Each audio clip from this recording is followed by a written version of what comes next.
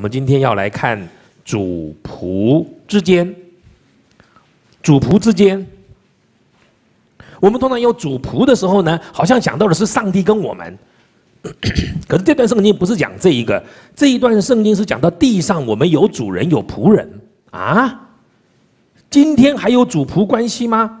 在今天这种男女平权、人人平等的时代，我们来看两千年前所写的圣经，我们会不会太落伍啊？我们会不会太落伍啊？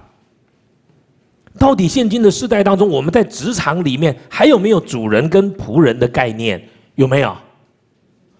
我问问你们嘛，现在在职场里面还有没有主人跟仆人的概念？有没有？没有啦，有啊。没有啊，有啊。哎，现在在在在职场里面上下区隔清楚不清楚？清楚啊，不清楚啊？到底清楚不清楚啊？除了呃，如果从人的角度来看，似乎不明显了，似乎不明显了。但是我们好像看不到主人跟仆人，除了外劳，现在外劳还蛮明显的。但是如果你从另外一个角度来看，你就发现这个社会、这个世界正用更强势的制度、更严谨的法律规则，用名誉、用地位的差别、用权力的大小、金钱的多寡，甚至人际的压力，来表现出工作领域内的上下关系。工作领域内上下关系，我们发现他们似乎形成更绵密的网络，把上下定义的更清楚。把主仆区分的非常明白，你会发现有权力的人可以用尽方法压迫没有权力的人，有力量的人可以为所欲为的做一些事情去霸凌那些没有力量的人。我这些讲的还是在工作领域上面哦，非工作领域可能更严重。我们所看到的就是强凌弱、众暴寡。有一个爸爸看他女儿从外面回来，国中生，很忧愁的样子。他爸爸就过去跟他说：“因为这这这世界太可怕了。”他就跟他爸爸说：“他就跟他女儿说说，发生了什么事吗？”他女儿说：“没有。”他爸爸说：“怎么搞的？你怎么看起来不太高兴？”他说：“没有。”他说：“你你你在学校被人家欺负了吗？”他说：“没有。”他说：“你被人霸凌了吗？”他说：“没有。”然后他回答爸爸一句：“在学校从来都是我霸凌别人的。”我以前不知道“霸凌”这个字，我就说我小时候了。最近几天大家讲霸凌的时候，我突然想起来，我们在小时候都有霸凌的现象啊，没有吗？在学校里面有没有？有啊，没有啊？那你真是运气好。我们几个同学要欺负一个同学，就是围过去就是处理他了，处理就好了。大家只是玩我们，第二天又大家又在一起。尤其那个成绩好的，讨厌他最好的方法是什么？大家都不要跟他说话，看他拽什么拽，听得懂吗？大家都别跟他说话，这就是霸凌。你会发现这一个世界比我们想象的更可怕。下一次我讲到的时候，我要讲到最后一章，第六就最后面一段，就是征战的生活。可是这些在外面所表现出来，说现在我们所看到的这一切，工作场所里面，甚至于其他的，我们简直觉得说怎么会这样子呢？各位，不仅在两千年前发生在今天照样发生。在现在的公司里面，大家穿的衣服可能没有太大区别，不像古代，你一看衣服就知道这个人是什么身份，你一看就知道了。其实你你到现在到某些国家去还看得见的，特别是落后国家，他们身上穿的衣服可以显示他的身份，很显示他的身份。现在在台湾一般的公司里面，尤其是一个比较先进的公司，你应该看不出来他穿的衣服彼此之间有什么区别。你光从一个人的外表，甚至他的谈吐、装扮、化妆的情况，很难区别这一个人到底是一个主管还是一个部属。啊，政府官员，我们好像也没有主仆啊。啊，事实上他们才是仆人呢。我们称他们为什么？公仆。你相信啊？他们只有一天感觉到他们是仆人。就是命运掌握在我们手上的那一天，对不对？之后呢？对对，他就不是仆人了，他就是主人了。是不是我们穿的一样的衣服，我们讲话的口气一样，我们就没有主人跟仆人的区别了呢？是不是真的是这样子呢？如果你仔细去体会你进到各行各业的很深的里面，你会发现上下层级区分的其实非常清楚，层级非常清楚。一九八二年到一九八九年，我在立法院工作，那时候我在在读在读研究所。他们有一种职业，他们有一种有有一个位置是是没有办法用公务人员做的，就是在立法院里面，他们在质询的时候，我们在下面写新闻稿，新闻稿是第二天一定要发的，所以呢，我就在那边工作。然后他们讲，无论是院会是全部大家开会，或者委员会，我们都要去做记录。他一讲我就写，他一讲我就写，然后他讲完了我就写完了，这样子，然后我就交回去，然后他们就校稿，然后就就发。所以每一天早上，每一天半夜，他们都要加班，就是那。工人呐，那我们就弄完就就交就交。我每天都工作一个小时，我在全职在里面工作的时候啊，全职在里面工作的时候，我起先是 part time 的，就是他叫你来来写一节，来写一节，来写一节，你写的很好，他就一直一直记录记录，就这个好这个好，到最后他有出一个缺就把你补进来，我就拿了全新的，我就拿了全新的。民国哎，民国很难算，一九八二年我开始进去里面工作。一九八二年，我写一篇试用稿，试用就是我那个不做不做准的，有个正式的，我是试用的啊。一篇稿叫我们就练习两次，过了就给你进来做 part time 的。我练习的时候，一篇稿是六百五十台币。哎，你们没有感觉的，很高哎，一个小时的工作量六百五还是试用的，我稿是不能用的。等我正式进去之后哈，你知道我拿多少薪水吗？你一定不敢相信。比二十二 k 还要加一倍，三十几年前，比二十二 k 还要加一倍，一个礼拜工作五个小时，一天做一班嘛，一个礼拜工作五个小时，一年工作八个月，一年工作八个月，我在里面，我简直觉得说，怎么有这么好的事情呢？因为他们自己省自己的预算嘛，听得懂吗？没有人管得到他们啦。他们是老大，他们就决定了。我刚刚进去的时候，我简直是高兴的不得了。那个时候还还有老委员在，那个门是这样的，那个那个门哈，现在门都进步了。那么是这样的，管一管一管，有没有？你可以推进去，你可以，你你你也可以，你可以推进去，你也可以拉啊。我不知道现在怎么样，我不知道后来有没有改了。啊，我们进去的时候，第一个要求你院内规则，这是不是明文的？是私下告诉你的。你走路的时候不能用推门的，一定要拉门的，因为你不知道门后面是谁。你听得懂吗？你推过去，如果蹦那个人是工友，没问题；如果蹦那个是委员，你就惨了。而且如果是蹦到老委员的话，你更惨，因为他好不容易走到门口了，你给他蹦一下，你就上头条，你就上头条。后来我正式做工，呃，在那边呃上上任之后呢，哇，很开心。后来五月，哎，六五月底会期结束，结束，他们说，哎，李先生，啊。这个会期还没结束哦。我说不是五月三十一号吗？没有，我我们还有还有还有研会研会的呃会期。我说好，好好，那就来做基金，反正没关系嘛。哎，一年已经不错啦，一年只做八个月，还领十二个月的薪水，还要加一一个半月的薪水。后来研会期，大家都好开心的。我看到研会期，大家都好开心。我说你这么开心干什么？薪水加了。我说哪里？他说研会费要加的。哎呦，还有研，我说可是可是。可是还是一样嘛，每天做一个小时，这个为什么延会费呢？薪水不是照领吗？薪水照领，可是加一倍啊！我写一天加一倍啊，不是加一个月啊，不是加一期。林天阿伯，五月三十一号会期结束了，六月一号到八月三十一号是休会期嘛，九月一号开会嘛，对不对？你知道吗？现在改了没有？我不知道，因为当时有被人家骂的要死，自肥条款。我们从六月一号到八月三十一号加三个月的薪水，哎，加多少呢？一倍！我吓坏了，原来六七八月不用工作还要拿双薪，帅！这种工作一定要做。嗯，上下不明显吗？太明显了。然后我就说每一个人都加一倍吗？我就跟他讲，他说没有，工友加一半。我们加一倍哦，真的，委员加两倍，上下不明显吗？非常明显，我相信不会只有立法院这样。你现在公司里面，你觉得薪水合理吗？薪水是不是主仆的一种差距呢？合理呀。有些人就可以拿很多啊，有些人做了个半死也不行啊。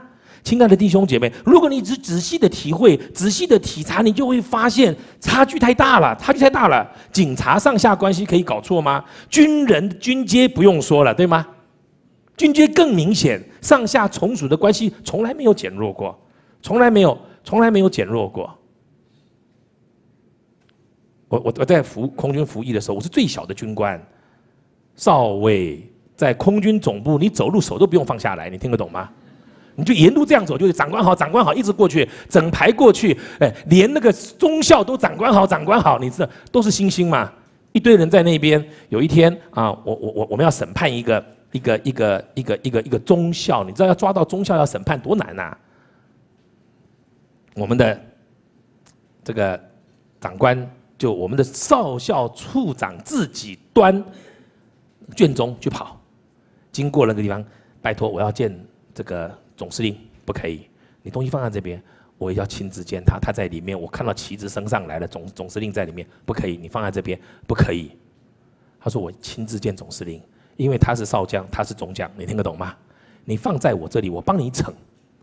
拜托，这个案子是军法案子，我不可以给任何人看，不可以给我看，也得给我看。你放这边，那我们处长就把那个案子拿回来了，因为要里面办的这个人跟里面。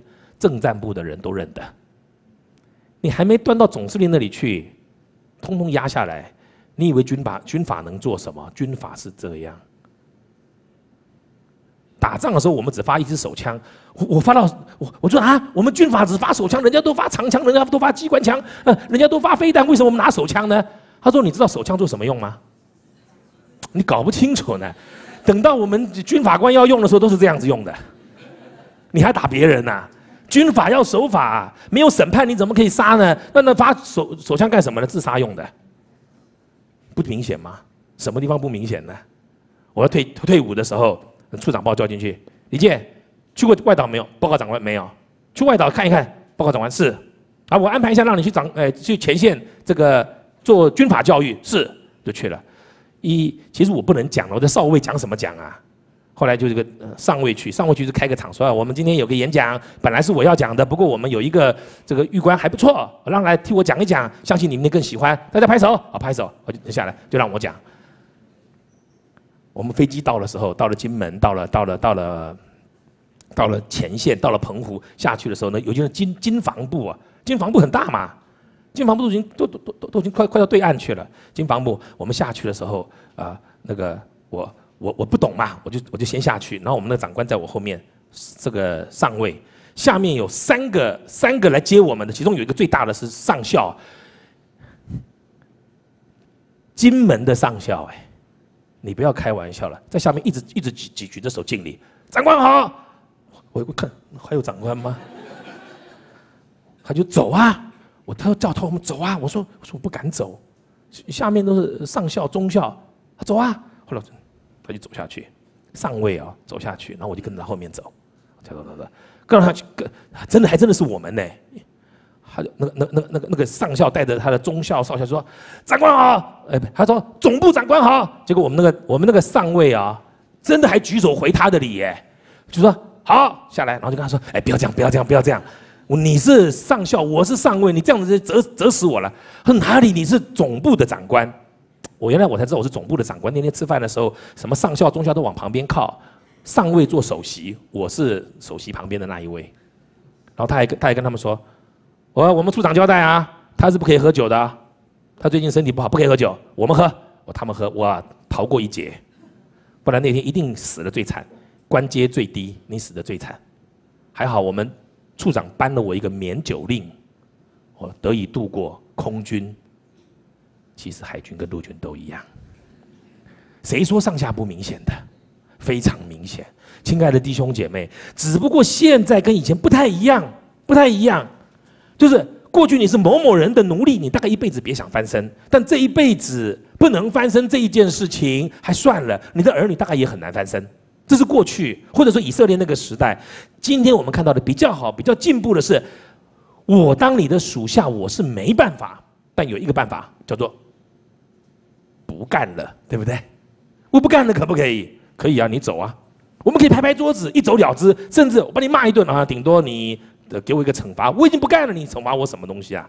是啊，你可以不干，但是你不干了之后，难道就没有上下关系了吗？请问有没有？你还要不要工作啊？你又不是生下来含着金汤匙的，对不对？只做生下来只做董事长的，那是没办法。如果你要按照正规的程序，怎么会没有主仆的概念呢？在你没有辞职以前，不管你喜欢不喜欢，你接受不接受，你仍然有上下的关系、主仆的关系。一旦你说我不做了，我不愿意受你的约束，当然你就解除了这个主仆的关系了嘛。可是我们讲的不是你可以解除的问题，是还没有解除以前，你怎么面对这件事情呢？今天比较好的事情是，你可以脱离这个关系，但是你还在那个位置的时候，你是跟你从属的长官，或者你是跟你的部属有一定的关系在。这是非常明显的，在政治上也是如此，在任何的公司也是如此，甚至你是在啊这个啊看起来比较没有关系、权利义务关系的协会也是如此了，也是如此。而且现在要你离职，你自己可以离，也有长官示意你离职的，他示意你离职，你说我就是不离，你觉得有可能吗？他已经暗示你离职了。如果上面的人不支持你，你说你不，我我就不离职。我可以告诉你一件结果就是什么？如果上面不支持你，你什么事都做不通的。倒过来说，如果上面的人支持你，你再大的压力都不怕。为什么？这就是非常真实的事情，这是非常真实的事情。亲爱的弟兄姐妹，当我们在读这个两千年前的。圣经的时候，你有没有想过，两千年过去了，这件事情并没有改变？That's why 他要写在圣经里面。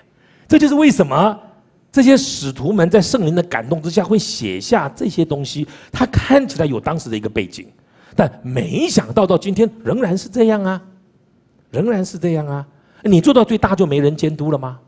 不会吧？今天中原院院长挺大的了嘛，对不对？论学术地位。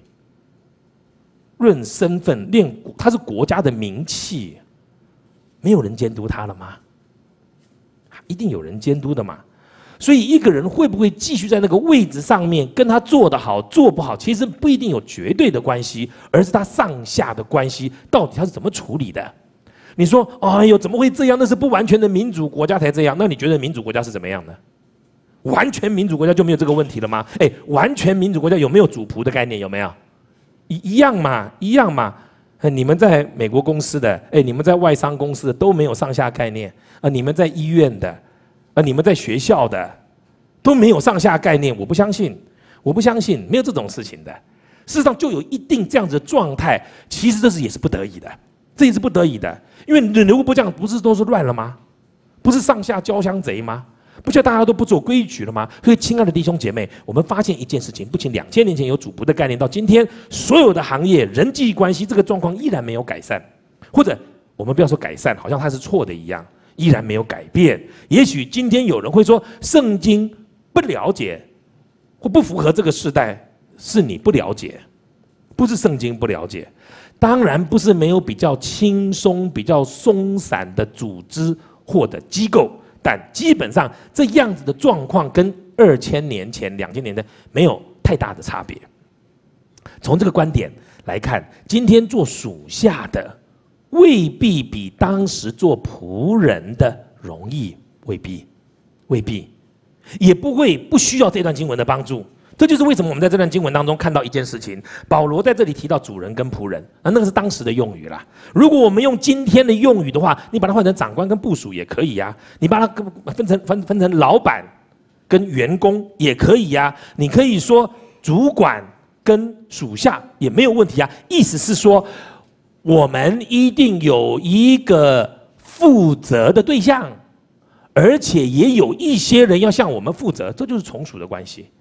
你不可能做一个工作只有你一个人做，那叫做自由业者，而且你那个自由业还蛮自由的，就是你自己可以做决决定，做所有的事情，没有一个人不受监督。其实这里是我们在工作职场上面一个很重要的一个状况，所以圣经这里有给做主管的一个劝勉，给做部署的一个劝勉。我觉得圣经最伟大的地方就在这个地方，给做丈夫的一个劝勉，给做妻子的一个劝勉，给做儿女的一个劝勉，给做父母的一个劝勉。这个我们都讲过了。今天讲给做主管的一个劝勉，给做属下的一个劝勉。这就是圣经太伟大的地方。其实你到坊间去看哈，这种什么怎么样做一个好的职员，他会告诉你一堆。我我不敢说他错，可是你归纳起来，其实还是一个问题。我告诉你，叫做心的问题。It's all about your heart，都是心的问题。如果你心是对的，你不小心讲错一句话，别人发现了，他一定会接纳你的，因为你不是。可是你全部的话都讲对了，你的心有问题，我告诉你，还是会有问题的。哎呀，我年纪越大，越发现这件事情好可怕。所以完全不是对付别人，完全不是跟别人怎么相处，而是我到底是怎么想的。That's the point，我到底怎么想的？你外面都是虚的，里面才是真的。我告诉各位，不要把别人看笨了，别人都感觉得出来。哎，我问你，别人跟你玩虚的、玩假的，你感不感觉得出来？啊，你感觉得出来啊？那你怎么敢相信别人都也感觉得出来呢？你你怎么会觉得别人都不不知道呢？哦，我我对了对了，你知道高低如果有差别，实在是会修理他，实在会骗到他。可是为什么要骗他呢？如果不是我们心里面真的这样想，然后我们讲了一个，我常常说哈。回答别人，人家问你为什么，你可以回答两种，一种是回答原因，一种是回答理由。听得懂吗？人家问你为什么这样做，你可以回答原因，也可以回答理由。原因是真正的理由，理由是假的原因。你为什么这样做？啊，因为怎么样怎么样怎么样？它可以是原因，它可以是理由。原因是真正我不这样做的理理由，理由是我不真正这样做，哎，理由不是真正的原因，理由只是搪塞你的。哎呀，很多人会讲理由的，我告诉各位，理由不是原因，所以都是我们的心，都是我们的心。你如果去看夫妻，一个爱，一个顺服，都是心。你如果看父母子女，一个是听从顺服，一个是不要惹儿女的气。我告诉你，绝对不能用假的。儿女比你想象的还要机灵。这里告诉我们怎么做属下，怎么做老板，也是我们的心，也是我们的心。而奇怪的一件事情就是，他写给老板的经文只有一条，就是一节；写给做部署的却很多节，听得懂吗？哎，可不可以猜一猜为什么呢？为什么给老板的只有一节，哎，给部署的却有四节？为什么呢？因为部署要学的比较多，老板要学的比较少。换句话说，如果有对错，还不其实这个没有对错问题，只是角度问题啦。如果说有更多的学习是谁来学？我告诉你是部署要学，不是老板要学。通常啦，或者是部署要学，而不是长官要学。圣经很奇妙，哎呀，你阅读圣经，你要么你不读圣经，你就天天来聚会也没关系，反正将来也要进天国的，天堂的，你你就去吧。可是如果你躺在地上好好的生活，你好好的读圣经，你就会发现，我我我每次都说，圣经绝对不是人写的，虽然透过人手写出来，它绝对不是人写的，它一定是圣灵的感动。当然，这个也是他这个人真正的亲身的经历，是他透过他的思想写出来的。可是这一定有圣灵的感动，不然不可能这样。你越年纪大，你越读圣经，你最后面只有两个字会说，叫做阿门。你看完了阿门，别的字你都不会说了，太准确了，太准确了。给做主管的、做主人的，如何好好做主人，只有一节经文；可是给做仆人的、做部署的、做暑假的，有四个经文。你就知道今天要学习的，恐怕都是做部署的比较多，做的比较不好的，从古到今也大概都一样。那我们要明白，现今的世代，主人跟仆人不是绝对的。当我们说你是主人，你是仆人的时候，或者你是长官，你是部署的时候，不是绝对永远都有这种现象。也就是说，我不会永远都做奴仆，永远都做奴隶，永远都在别人的下面。不是的，或许以前比较是这样，那是时代上的差别。在过去，主人大概永远都是主人，仆人大概也很难翻身。可是今天，在各行各业当中，至少在台湾，你没有部署，大概只有少数人你没有部署，大概只有少数人你没有部署。可能在我们的职业，在我们的工作领域里里面，常常会随着年龄、资历、技术的多寡。多寡也有升迁的可能性，除非你不工作，你是家庭主妇或者你是家庭主夫，现在也有这种人啊，这一点都不稀奇啊。你知道我我读大学毕业的时候，我就认识洪秋华了嘛。我当时就想说，如果他去工作，我在家里做家庭主妇多好啊，因为我喜欢做家事，然后我不喜欢哎做那些事。我这些这些年的性格跟别人可以这样的哈拉哈拉，其实是训练出来的。我讲出来，你们一定不肯相信。其实我是内向的人，我我我很不喜欢面对外面的人。如果你让我选择，可是没办法，我我我我如果要工作，我如果要做个教会服侍的人，我就要主动嘛。我不喜欢，我也得逼着我自己呀，因为不然怎么办呢？那你要服侍别人，就要这样嘛。在我们的工作领域里面，我们都会改变。可是，在现在这个场域或现在这个时间里面，我们发觉比以前更复杂了。以前就是我是一个主人，那他是几个仆人，就这样。现在不是，现在我们大家都一方面可能是别人的部署，我们一方也是别人的主管，对吗？我们有一些平行的，我们有一些人家对我们有权柄的，有一些我们对人家有权柄的，我们反而关系变成以前更复杂了，更复杂了。以前是简单的一件事情，你就做仆人，把仆人做好，啊，你就做主人，你把主人表现好。今天不是这样，你想想看，你的工作是不是这样？有一些你必须向别人负责，也有一些人必须向你负责。一方面你是做主管，另一方面你是做部署的。你在任何一个行业、任何一个工作岗位上面，有人要向你负责，同时你也要向别人负责，你也向别人负责。甚至我们当中有些人做到 CEO 的，我请问你，你有没有负责对象？有没有？没有啊！你把董事都看成没事干的，是不是？我。欧华神学院在欧洲，感谢主，好快哦，快十年了，真快，很快，明年就满十年了。我还记得去去的第一次，啊，那一年二零零，我后来呃二零零八年，白培英长老在这边讲到，他说他看到近代三件啊呃神迹，他说我讲的神迹都不是有一天你突然感觉到神与你同在，他说我看见三件神迹，我记得很清楚，他讲三件神迹，一个是宇宙光的。呃，是不是马那个呃马里逊入入华两百年？他说那个活动，他说是一个神迹，这根本不可能的。我记得那那一次林哦十几年前，我跟林哥呃到办办公室，他也跟我说，你这个李健，你觉得这个要不要做？我说当然要做。他说钱差很多。我说如果这是神的心意，钱一定是神给的。啊，那个时候我也是打打气嘛。不过我是真的相信，如果是神开始的，一定要给。第二个，他说是杨长老在中亚办的一个学校办的那些所有的活动。第三，他说在一年又两个月内，欧华可以成立，转眼就要十年了。我们换了，就是现在来了第三个院长，第三个院长是华神原来的副院长。我跟他是好朋友，我很我我很喜欢他，我很敬重他。到今天为止，我非常敬重他。我我真的是从心里面敬重这个人。将近七十岁的人了。先做 bypass，先做 bypass 就是那个那个心脏血管那个搭桥手术，然后做起来，马上就有心导管，再放支架进去，很辛苦很辛苦。所以我写信给他说，请来我当我们的院长。他说：“李长老，我怎么可能？你看我可能吗？人不可能，但神说可能就可能了。”他就去了。我跟他谈了好几次，我在台湾跟他谈，后来邀请他到欧洲去做最后一次 interview。那常务董事要 interview，interview 完就。通过了就报到董事会，董事会通过，他就变成正式的院长这样子。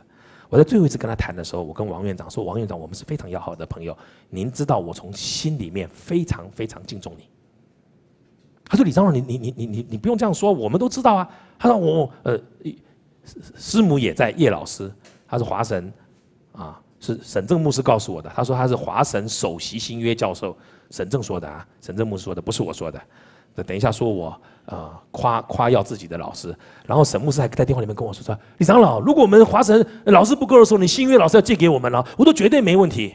绝对没问题。我我我们一定借的，这是我们的荣幸。我们是小神学院，你们大神学院，我们老师还借你，这不是这给我们太大面子了吗？后来我就跟他讲啊，我就跟院长讲，我说下面讲了一句话，您可能啊不是很舒服，不过我说我一定要讲。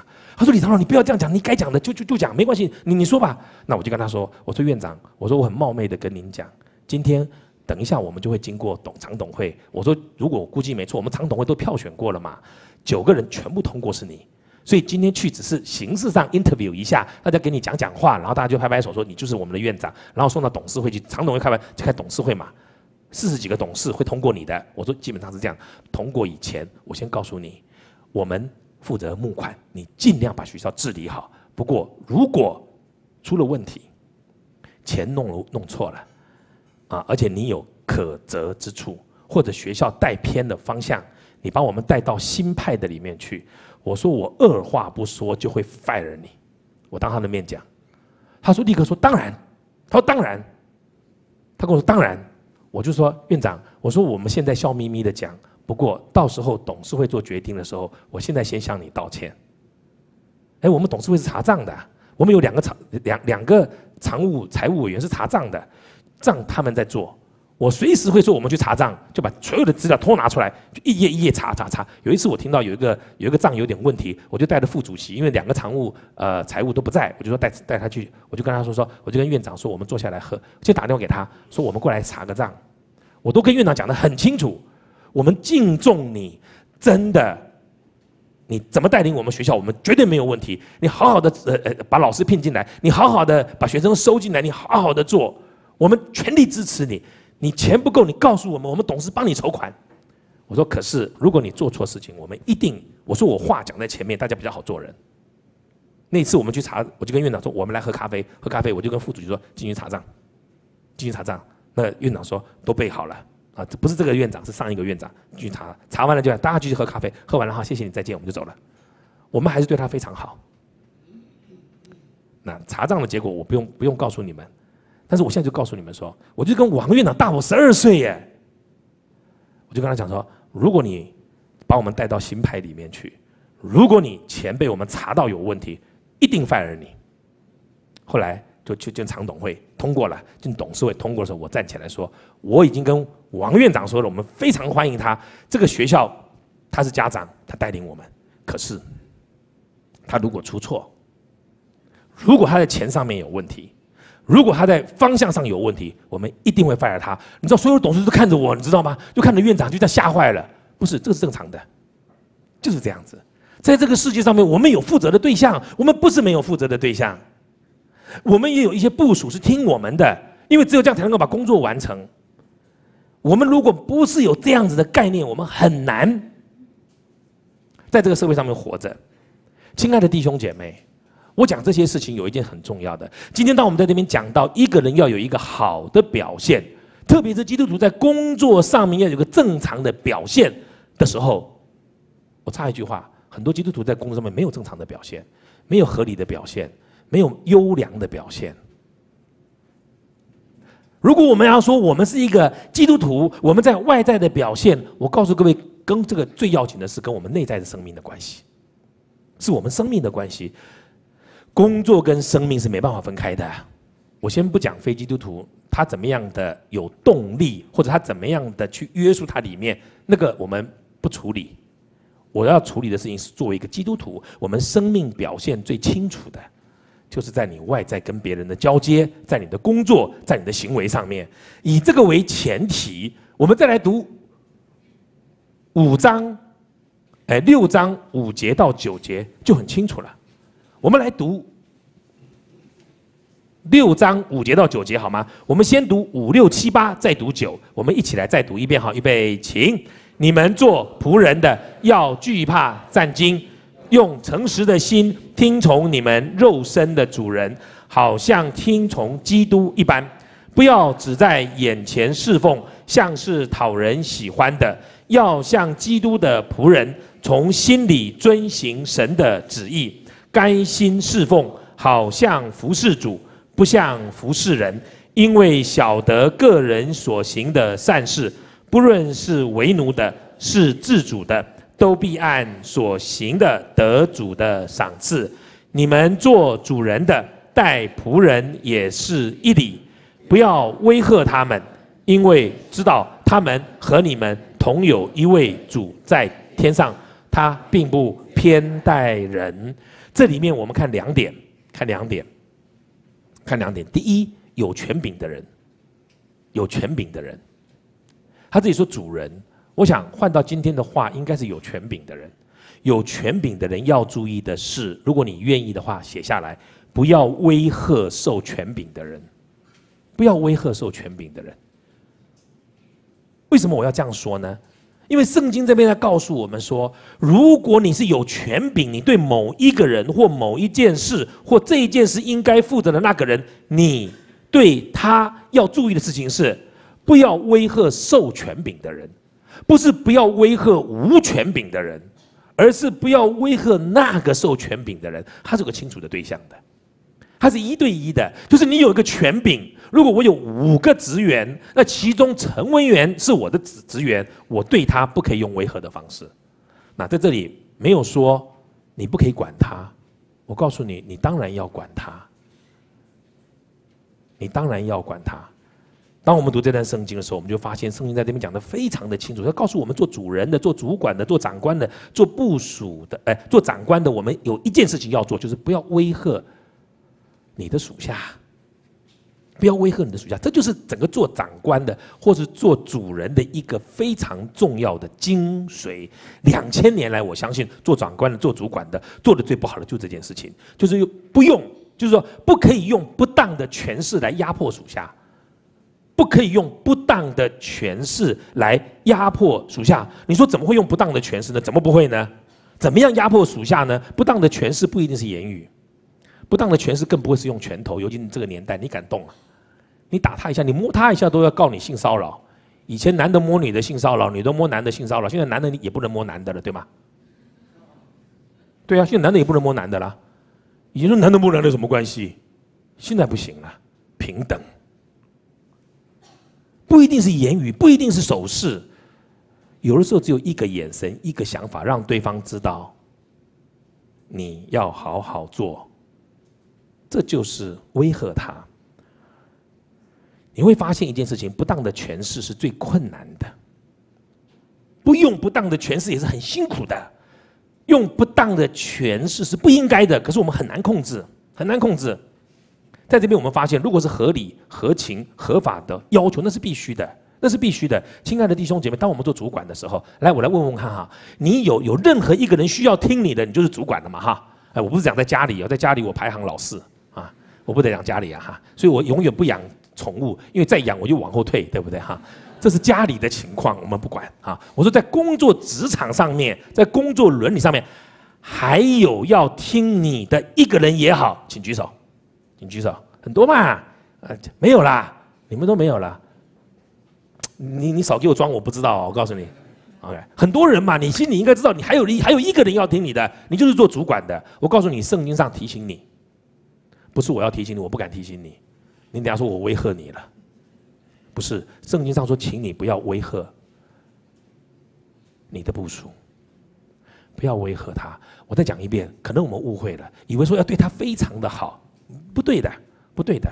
他他是一个 junior 进来，你要教他，你要管他，你可以骂他，他做错的时候，那要看你的心态是什么，你的心态是什么。我告诉各位，要把属下弄坏非常简单。要把你的属下弄坏非常简单，就如同把你的儿子女儿弄坏很简单。要把你的儿子女儿带好不容易，但要把你的儿子女儿弄坏很简单。他做对了，你不要鼓励他、称赞他；他做错了，你不要指出来，你的儿女就死了。听得懂吗？你还不写下来啊？这么重要的东西。你儿子做对，你女儿做对，你不要鼓励他；他做错了，你不要指出他，他就死了。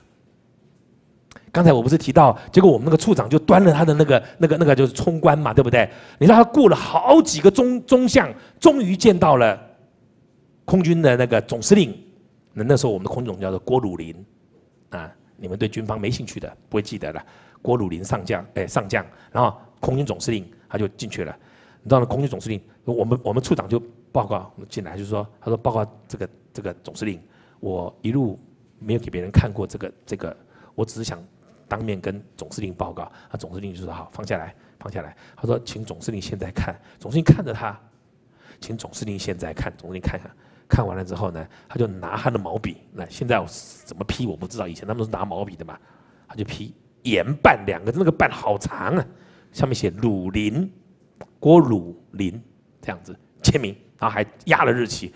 我们处长高兴的抓那个东西，就说：“谢谢总司令，谢谢总司令，这是对我们军中的好处。”就把他带回去了。带回来就把我们几个找去，给你们看。任何人不能讲这是什么案子，给你们看。看，因为我是书记官嘛。哇，竟然要扳倒一个中校，而且是前线的中校。你说扳倒前线中校什么了不起？我告诉你，扳倒他很不容易。多少人告他，就是没有办法。那为什么最后把他扳倒了呢？因为拿到足够多的证据。哪里拿到足够多的证据呢？我告诉你，证据都在监狱里面找的。他做排长的时候，下面的三个班长最后都入了监狱；他做营长的时候，下面几个连长通通进了监狱。你听得懂吗？你这样听不懂啊？坏长官带出坏部署，那些部署都没有人撑腰，就一路通通把他杀到监狱里面去了。就这个长官逍遥法外，气得我们那个、那个、那个、那个、那个、那个处长得到这个消息，又扳不倒他，又没办法，最后把资料全部收集完了之后呢，就拿去给总司令看。总司令批严办，而且他跟报告总司令，这个办不下来。总司令说：“你办。”我总司令说：“办就办了，就下去。”哇！那天开庭的时候，检察庭我是书记官，我坐在那边，然后我们的检察官，那检察官才三条杠，要审一个。两颗星，两颗梅花的，我告诉你，脸都一直发抖。我们把衣服一穿，就在那边审他，问什么，他就他就他就他就跟你站这样子。你问吧，你问我都不知道，我什么都不知道。后来我气到了，我就我就把桌子一拍，我说你好好回答我们的检察官。我说你再不好好回答，我就叫宪兵进来，在法庭里面呢，他这样子吊儿郎当的抓出去。我说先把你的衣服脱掉，因为我们看了害怕，你听得懂吗？先把你的衣服脱掉，把你的头发理光，再进来审。你知道后来他就吓一跳，你知道吗？我说如果你长你你的官阶很高，我们可以让你坐下，可是你一定要回答我们长官的话。你知道我们俩出去的时候，我们吓得两腿都一直发抖，你知道吗？因为如果没把他弄下来，我们两个就死了，而且会找不到的，不知道在太平洋还在台湾海峡。后来就就就办他，就办他。我们怎么敢这么凶悍呢？你知道吗？因为已经看到总司令说严办。办到底，把它弄下来，把它弄下来，所以我们一路密审，一直到审判庭，然后到复判庭，全部判完了，已经定验了，才让那些检察，才让那些人知道，知道已经来不及了，速审速结，一下子就把他干掉了。我们怎么扳得倒他呢？因为他下面的人全部在监狱里面了，为什么他监狱里面通通在军监里面呢？因为他没有好好教他们。亲爱的，做主管的，我们要爱我们的部属。我没有说不要管他，我没有说不要教他，反而要管他，要教他。但是你怎么样教他呢？你不要威吓他，你不要威吓他，你只要心里面不威吓，你做什么应该都没问题。第二，服权柄的人要留心的是，请你写下来，要听从有权柄的人。圣经上对于做仆人的、做属下的，他说什么呢？要听他的主人，如同听从主。我想最做部属的最困难的一件事情就是不懂顺服。你知道这个不懂顺服，其实不能怪他们，因为他们他们实在不知道老板是怎么来的，他们不知道那些官怎么升上去的。我前不久在这边讲过一个事情，就是我儿子，我儿子就是李真，他打打电话给我，有一次很生气嘛。去年他打电话给我，跟我说说我的老板笨死了，在天话里面我就跟他一起骂骂他的老板。为什么呢？因为他现在我只能陪他一起骂。我如果不陪他一起骂的话呢，啊，他就更难过、更生气。然后他就觉得说，以后受委屈也不要跟爸爸说。所以我跟他一起骂，一起骂骂。骂完的时候，我就跟他说：“我说李真，那下次你都找不到我的时候，你怎么办呢？”他说：“怎么？”他说：“我就是不知道怎么办呢。”他说：“你看怎么办呢？”我就跟他说：“去找一张 A4 的纸，把它折成三三折，把它折成三折，然后把它折成三折，然后把它打开来，然后这边的一个 column 的 D column 就是说，老板做了什么错事，这样子。老板不老板做了什么事。”这是要客观的描述。第二，他这样做有什么错？就这样子。那第一点、第二点、第三点嘛。然后第一点有一之一、一之二、一之三嘛，对不对？听得懂吗？然后这个是如果我是他，我应该怎么做？这样懂吗？一个是老板做了什么事，第二老板为什么错？错在哪里？第三，如果我是他，我怎么做？我说这三个哈，这这一个这一页哈是留给你的，将来你会很会做老板的，很会做主管的，因为你把每一个老板做错的事情都写下来了，然后你说他为什么做错，然后你针对这个错，如果你是老板，你要怎么做？这是一个很好的学习嘛。我儿子跟我说：“爸，你好棒哦，你怎么会这样？”当然嘛，我们都混过你那个位置了，混了很多年，气到都不行，对不对？对不对？后来才发现我错了，你你你你听得懂吗？刚才我跟郑长老在外面，我我晚晚进来五分钟，我知道，呃，十分钟我我知道那个领会一定很紧张。李长老呢，我在外面跟郑哥讲话，跟郑长老讲话。我来教会当执行当当长老的时候，就是来全职的时候，郑哥是啊，从今天来讲，他就是我的主人嘛，因为他教会的执行长老嘛，那我就进来做，做了做了八年，做了八年。你猜我当时对他满意不满意？我喜欢你。但是你答错了，没有这种事情的，没有事情的，这叫做 junior 嘛？What is junior？你听得懂吗？永远不满意，你不懂，你不知道，你不会，你怎么会这样呢？你你你知不知道啊？是其实是我不知道他，你永远猜不到你的老板在想什么，对他对不对？不是你的事情呐。我现在在讲说，还有更有可能是他对，更有可能是他对。有一句。一谚语是这样说说的：你不在柜子里面，你怎么知道柜子里面发生什么事情啊？啊，那是在讲英国的内阁制。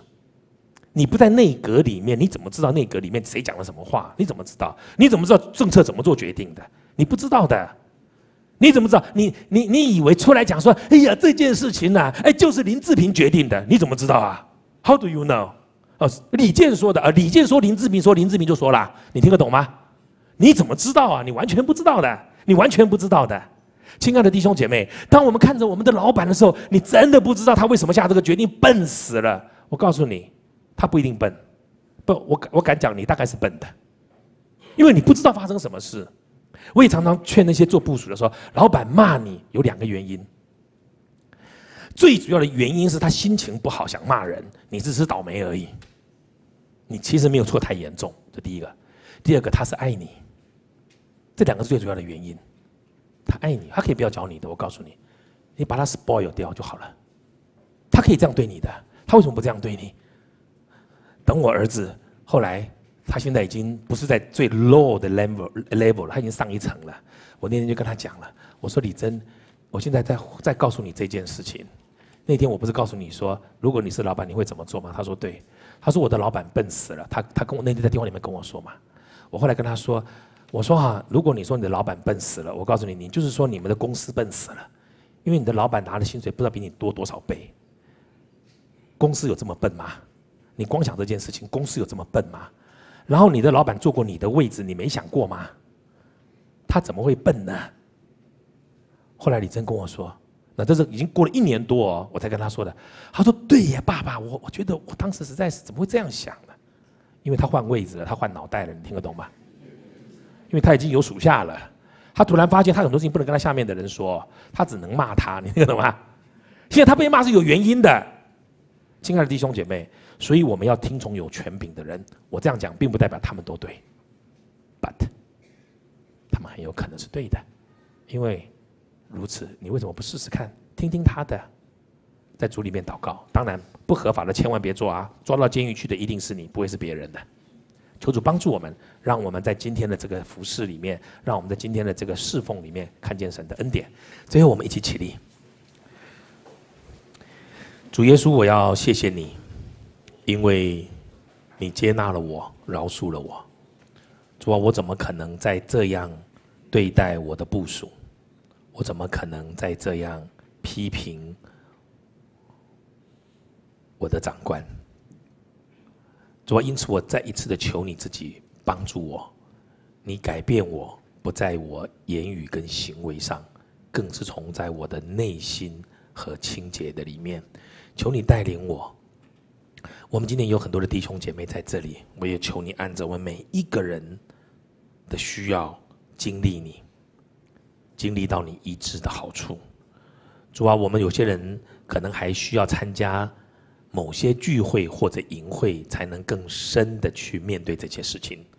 求你都为我们开路。我们现在要分散，愿主耶稣基督的恩惠、天赋上帝的慈爱、圣灵的感动、交通，与我们众弟兄姐妹、弟兄姐妹的家人，与在全世界神的众教会同在，从今直到永永远远。阿门。